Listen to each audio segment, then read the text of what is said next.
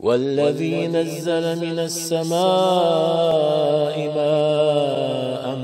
بقدر فأنشرنا به فأنشرنا به بلدة ميتا كذلك تخرجون